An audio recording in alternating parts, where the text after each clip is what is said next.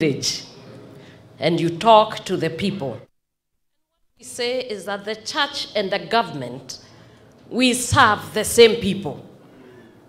We serve the men and the women, and we also pass on the roads they have talked about. We are also the farmers, and therefore, as our bishop has given the word, that you have been given that ordination not for the name's sake, not for status, but for service.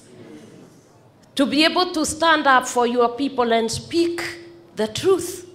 Be courageous. That's what we have been told. Obey diligently the word of God and preach it as it is without diluting it. Be firm and stand for the church of Jesus Christ. I always say I'm not ashamed of the gospel of Jesus Christ because it is the one that gives salvation and it is the one that changes and transforms life. When we speak about this alcohol and uh, drug abuse, you must be in the front line. You cannot go and watch our children and our generation destroyed when we are everywhere in this Kenya.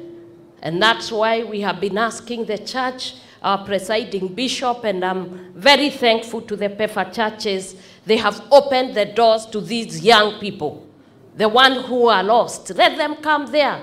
Feed them with the word of God. Feed them with the uh, bread of, uh, uh, bread of life and also the physical bread.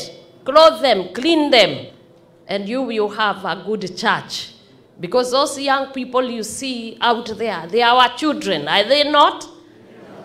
They are the congregation of the future, and therefore we must teach them the right thing courageously, diligently, and congratulations to all. Thank you very much.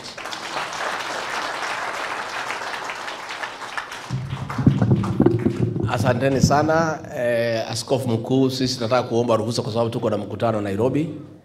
Maybe Rose, tukiambiwa tupeane zawadi kwa askofu ndio tupewe nafasi tu, tuweze kukimbia uh, kwa sababu tunangojewa Nairobi. What do we do?